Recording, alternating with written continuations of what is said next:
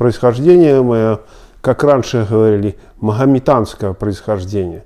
То есть э, в прежние времена, э, еще э, до революции, татары принадлежали не к мусульманскому, а к магометанскому происхождению. Поэтому я принадлежу, и родители мои принадлежат ли к вот магометанскому э, э, вероисповеданию. Ну и вот на протяжении длительного времени э, проживал в Смиловичах. Ну, я имею в виду, оттуда наш родовод происходит – вот, из конца 18 века. В общем. А сколько вам лет полных? Мне в полных где-то 72 года. Так что, в общем, в целом отношусь к старшему поколению, ну, те, которые остались уже, как вот ну, дело в мелочах, которые проживают в данный момент. В общем, Почему я говорю, что я к Магнитянскому? Потому что у нас в роду, насколько сколько я помню, не было представителей других конфессий. То есть, как хотел, характерно в последнее время, значит, есть э, представители татарских э, фамилий, которые есть другие присутствуют конфессии. К несчастью, это такой факт. А кто были ваши родители? Мой, а, моя мать была из Ильясевича, э, с Ильясевичей, э, Ильясевич Софья Мусафовна, а отец Конопадский э, Борис Ибрагимович. Вот. Мать уже умерла, отец тоже в 84 году. Да. Был еще старший брат – Конопадский Ибрагим Борисович. Ну, известный вам, наверное. Вот. Так что, в общем, фамилия небольшая, и, ну, и еще остались, э, остались, брата уже нет, э, остались три сестры. Э, две сестры, ну и я третий. Каковым был ваш родной город во времена вашего детства? Ну, город родной, ну мы же нет. А Смилович находится не рядом с Минском. Поэтому, в общем целом, это единая агломерация. Э, поэтому мы имели контакт непрямой, э, непосредственный представителями э, Минской общины. Они приезжали на Мизар во время праздников. Ну и много там было родственников. Так что, в общем, можно сказать, Минск родной город. Ну, собственно говоря, об этом и свидетельствуют исторические документы. В 15 веке там есть э, какой-то э, документ э, от, Лавитовтом, который говорит о том, что в общем целом под Минском тоже как бы была какая-то э, община. Ну, была какая-то фактория или была татарщизна какая-то, которая, в общем, целом имела контакт и отношения, даже выделяются отдельные фамилии татарские. Вот. Это зачатки, можно сказать, зачатки мусульман вот, в то время, в 15 веке. А каким вы застали в детстве быт, обычаи, нравы ваших там дедушек, бабушек? Родителей? Ну, они, они все были мусульманами. Вы знаете же, ведь, наверное, что свой ислам – в Белоруссии, он как бы какой-то э, синтезный. То есть вот эти древние документы, Хамаилы, Китабы, одно то, что они писали на э, э, писали кириллицей, потом придумали свой язык, было, был язык на, э, на основе арабики, там еще были добавлены те некоррективные буквы. Это, э, э это одно и еще этот э, э, и язык, вот эти документы, они, как правило, изобилуют разного рода, в общем, в целом, такими инвести... и лингвистическими и, в общем, в целом, э, заимствования из шиитского и из э, одно то, что люди стремились к вере, они сохраняли, в общем, основной постулат, что держитесь э, веры и не разделяйтесь. Хотя, в общем и целом, культурная ассимиляция, она продолжалась на протяжении столетий.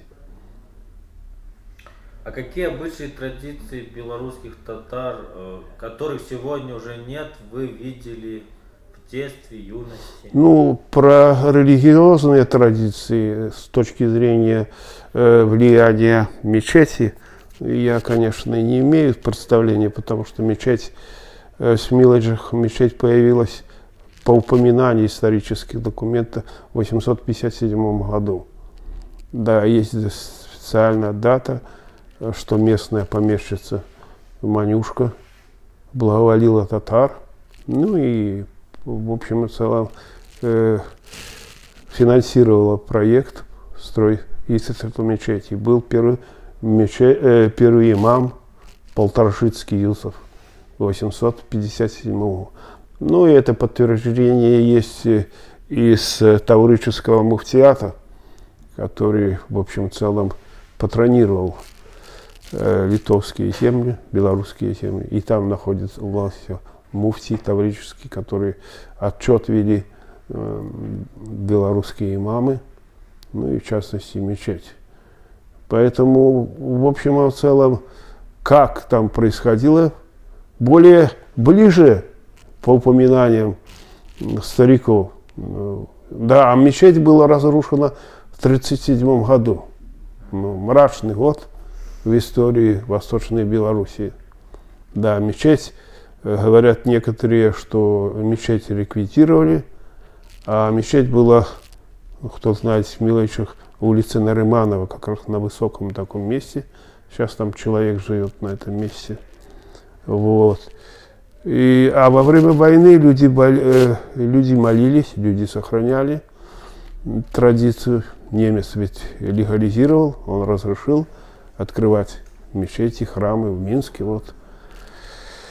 Да, так вот собирались вот или сарай, что-то там, там какое было, и проводили, э, в общем, молебен, проводили намазы. Так что, в общем, ну а... То есть, получается, в вашем детстве вы Нет, я не, за... не застали? Нет, вот, и, вот интересно, иногда, иногда задумывался над тем, как это все-таки произошло. То есть как произошло, в общем, в целом возвращение, э, в общем, вере предков. Это же не просто так произошло. Если некоторые люди принимают сейчас ислам, и их называют неофиты, да, но есть те, которые были, в общем, э, имеют были поколение людей, ангажированных исламом. Поэтому, в общем и целом, можно сказать, что был период, когда была мечеть в середине 19 века и до середины, э, начала 20 века. А потом разрыв в поколениях. То есть не было воспроизводства ислама с точки зрения исла, исламской традиции. Я только вот хотел вас вопрос не по списку уточнить. Мустафа Борисович, почему во время советского коммунизма татары больше ислам держали, а после развала Советского Союза все разбежались. Ну, мы, я уже как бы упоминал в этот вопрос в, в, выше, по, почему именно. Э, в общем, а в целом, э, все же это, э, об этом уже говорил, ведь в общем в целом этот постулат, кажется, четвертая сура э, Скотт, там есть аед, который «Держитесь веры», кажется, сура 4, там и аед. Да, там упоминается, что держитесь за веру Аллаха, не разделяйтесь вере. Но, наверное, в силу того самобытности и традиции этого народа, который э, жил, по сути дела, изоляции постоянно на протяжении веков, и, в общем, старание, старался сохранить свою религиозную и национальную идентичность. Национальную, мы говорим, придумал свою э, транслитерацию, графику на основе арабики. Вот. А, я еще вспомнил аят из Корана, что там говорится, если какой-то народ не будет соблюдать да, да, она да. его заменит другим народом. Да, да, да. То есть, э, наверное, условия проживания, они, как правило, э, не позволяли, а, в общем, в целом расслабляться, расслабиться. Поэтому ведь, опять же, близкородственные браки, вот мы тему эту такую не затрагиваем, на то, что татары жили как бы в отдельных каких-то татаршизнах, в общем, концах, как они называют, слободах татарских, э, по-разному они называют. Вот. Э, свидетельство о том, что, да, и близкородственные связи. А близкородственные связи отслеживаются у, у народа, у евреев и у татар, которые жили даже на двоюродных. Поэтому это все было направлено на то, что сохранить свою самобытность, сохранить свою веру. А вот тоже, тоже мы говорим, что растирали, растирали. Ну, еще, можно сказать, э, сравнивая, как бы, царское правительство проводило такую политику. Они как бы с одной стороны и стремились традицию сохранить Великое княжество Литовское. Э, позволяли, то есть татары же были приписаны благородному сословию, хотя в неимущественном отношении они не имели ничего. Я имею в виду, состо... не были такими состоятельными. Вот, силу разных причин. Ну, а этот режим, я имею в виду Вторая мировая война, она окончательно растоптала. Я вот так думаю, всегда анализирую. Ведь то, что, то, что творилось вот в течение этих 41-45 э, года это окончательно нанесло смертельный удар. Я так и хотел спросить, а что поспособствовало тому, что со времен князя Витовда до наших дней мы вообще сохранились как татарский этнос и до сих пор существует? Ну, этнос это, можно сказать, это громко сказано. Ну, ну ска- скорее, можно это культурно-историческая группа. Ведь в общем и целом э, иногда, иногда э, раньше как-то встречались с представителями тех татар, которые жили в России, ну, в Поволжье. Там же тоже не было единого монолитного единства. Ну, татары это, можно сказать, такой социотоним, который, в общем и целом, представляет совокупность различных э, национальных анклавов. Это нет единого народа классического происхождения. Поэтому, в общем...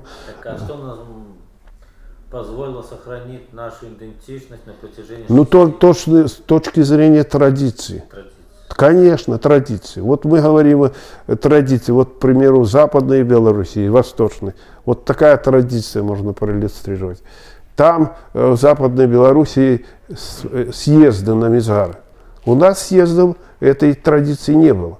У нас жили все как бы компактно Восточной Беларуси. Здесь же больших э, э, анклавов таких не было. Минск, Смиловичи, да, Минск, Смиловичи. Ну, здесь Узда тоже непонятно.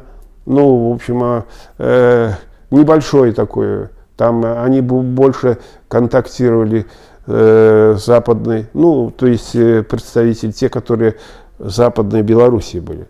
Поэтому традиционный момент, он присутствовал здесь, на Восток. Здесь собирались в основном на праздники.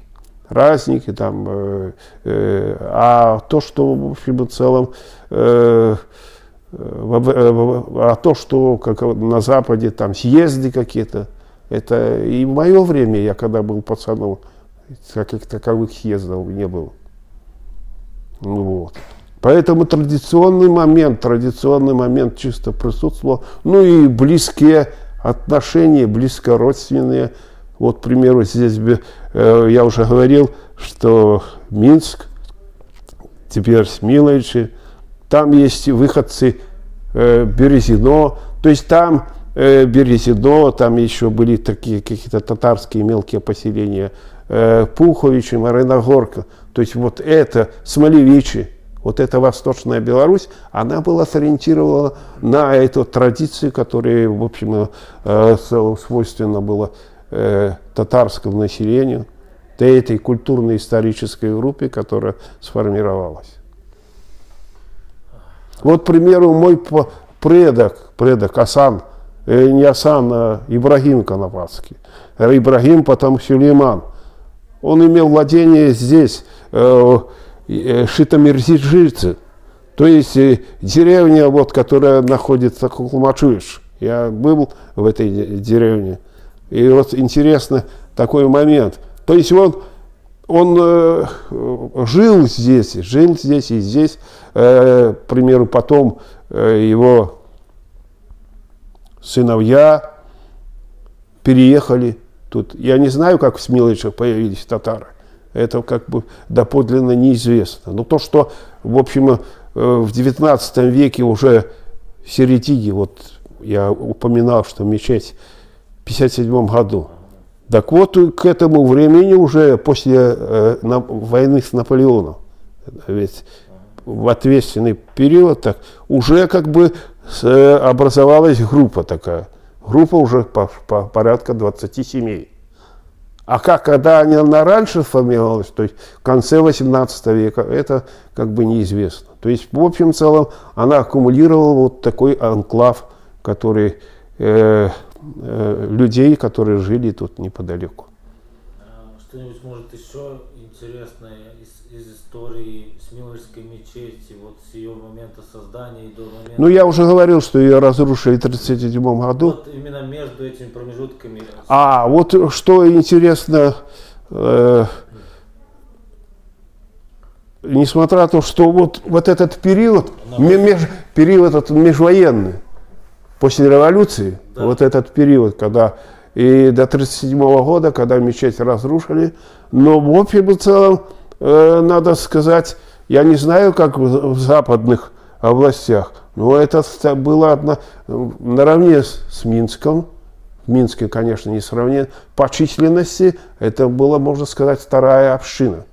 Где-то э, пере, перенасыщенность населения, прежде всего рождаемость большая была, вот, в период этой э, между революцией и войной, началом войны, 41 -го года.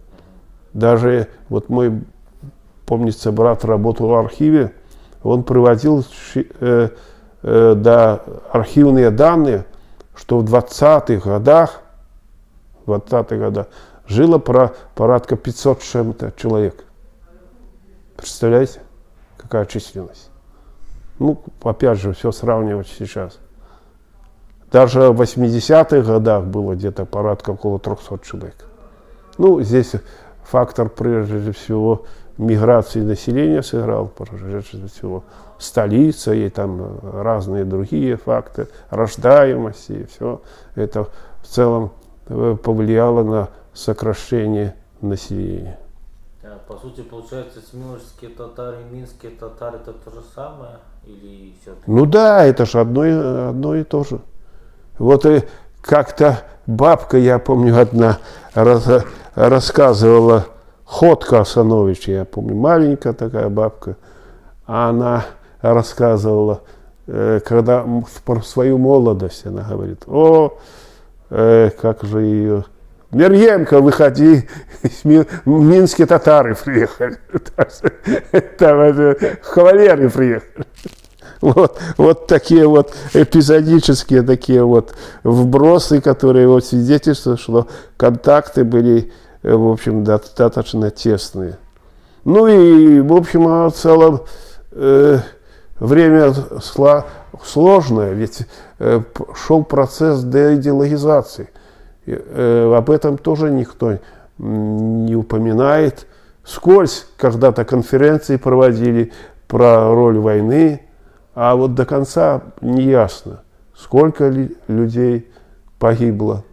Ведь э, здесь, в Восточной Белоруссии, э, очень интересная ситуация. Здесь же затронули эти преобразования идеологические. Вот. Одно то, что рели, э, закрыли, то есть, в общем, комсомол начал развиваться, то есть те некоторые через школу, там, через другие заведения э, учебного плана, то есть, в общем, в целом приобщил, приобщились к новым веяниям. А когда началась война, некоторые вернулись старым. То есть, по сути дела, в Смилычах были татары, которые симпатизировали власти, поэтому кон, э, конфликт между полицией, те, которые пошли в полицию, ну, это характерно для Беларуси.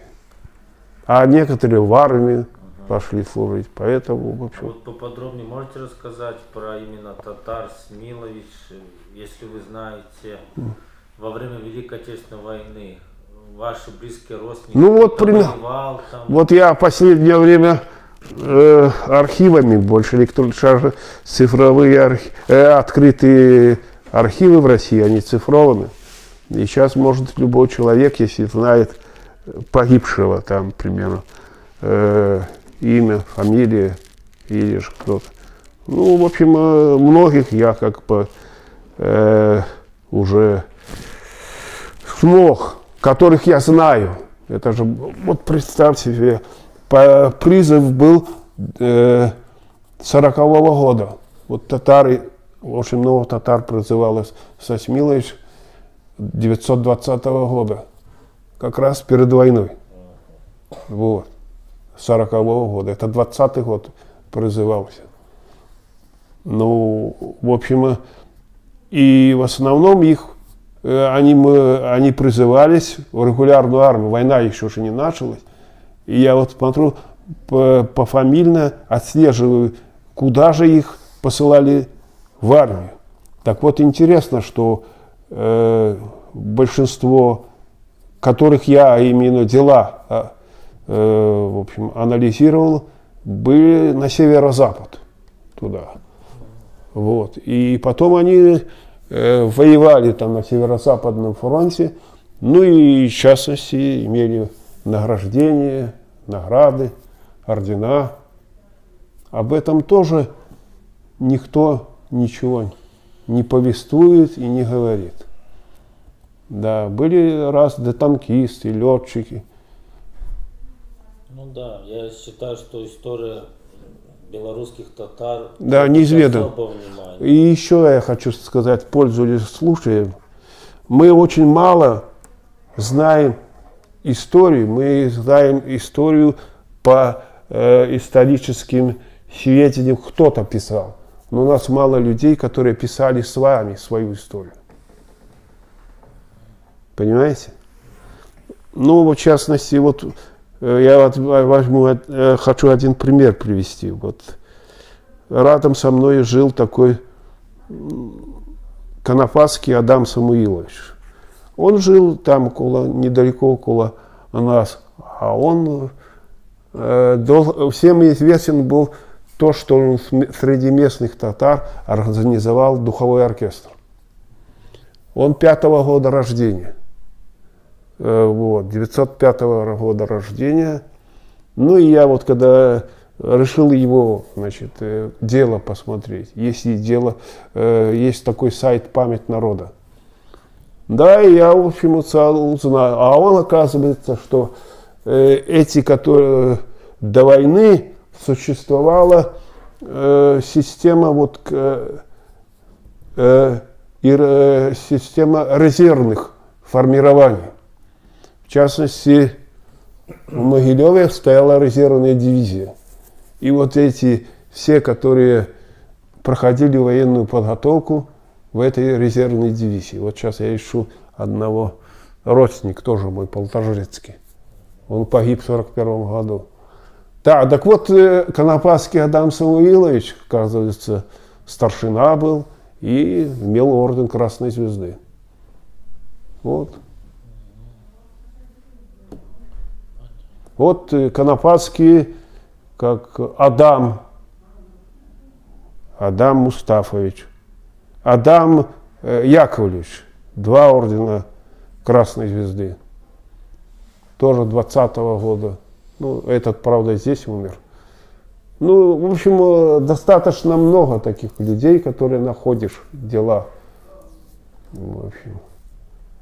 Так что мы мало свою историю знаем не знаем свою историю, даже по большому счету. Я, я иногда беседую с казанскими татарами. Почему, говорю, вы свою историю не знаете? Даже историю Орды.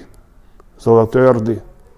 И вот иногда сейчас исследование отдано на откуп журналистам. Журналисты с легкой, пода легкой подачей, с легкой руки, э, опять же, э, используют этот идеологизм монголо-татарская ига. Я историю Беларуси читаю, там столько информации. Ига. И тем более не вдаются в подробности, а что же такое это иго и что оно собой представляло. Но опять же, включая в смысл, в контекст, прежде всего идеологические постулаты, но не научные. Так что, в общем, надо заниматься своей историей. А что вы можете еще добавить по данной тематике? А что вас интересует? Ну, и я таки до конца не понял, близкие родственники ваши прямые участвовали в Великой Отечественной войне? Дедушка там или брат дедушки? Ну, в общем, у моего прадеда не было, э, в принципе, а прадед мой жил в Березино, а Конопадский Яков Александрович, а его отец, э, его сын Ибрагим Яковлевич. Э, Ибрагим Яковлевич. До войны был сослан.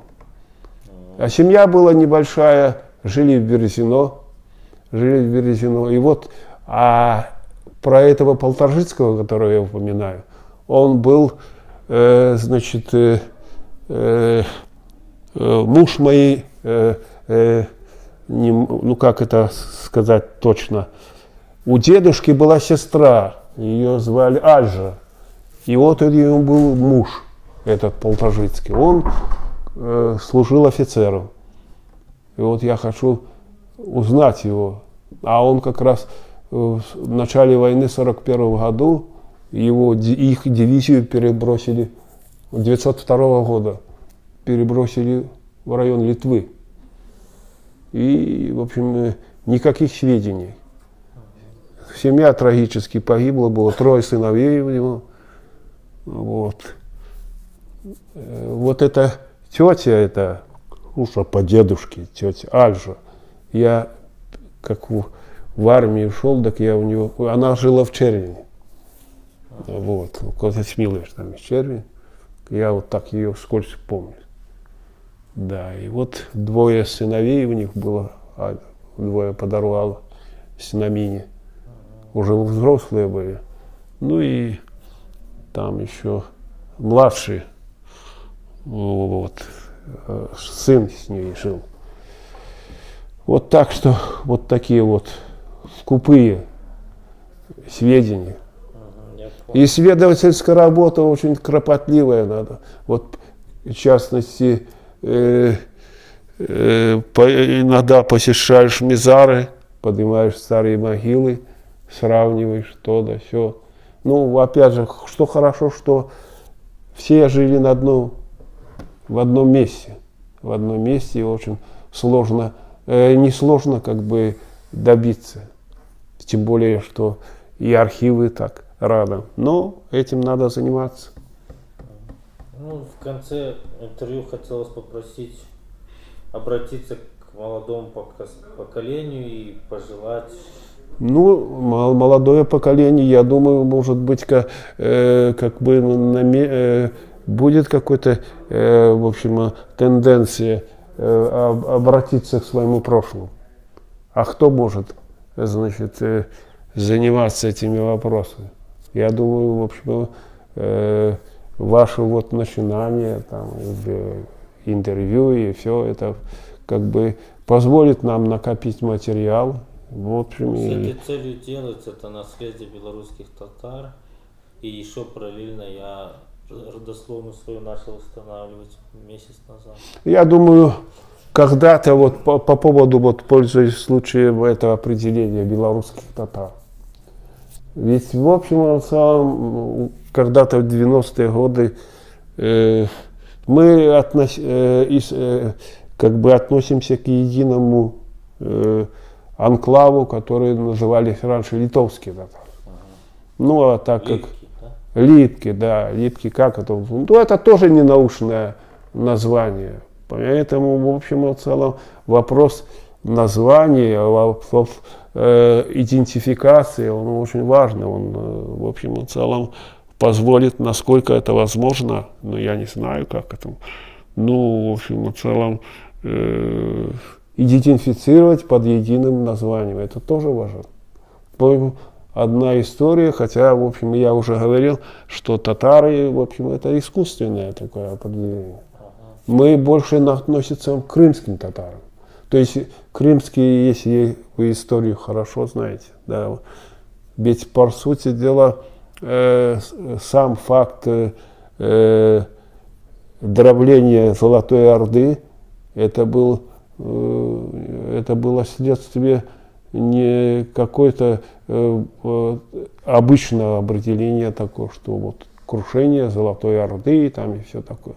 Ведь шел процесс становления государства, государства. И в общем и целом, как следствие, это начались междусобные войны. Междусобная гражданская война.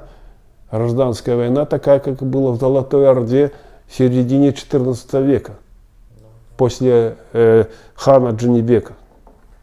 Поэтому, в общем, э, целом э, татары, э, те, которые, о, те, которые улусы, которые отделялись, которые жили в э, Северном Причерноморье, в частности, Сибирское ханство первое отделилось, а второе Крымское. И вот не случайно мы ж, э, я имею в виду те, которые принадлежат, ну именно те, которые живут здесь, в Литве, в Литов, которые определили как литовский татар, они имели родовое происхождение. А эти э, 15-16 века, эти представители, вот Конград, э, э, племя Найман, они, они же принадлежали к Крымскому ханству.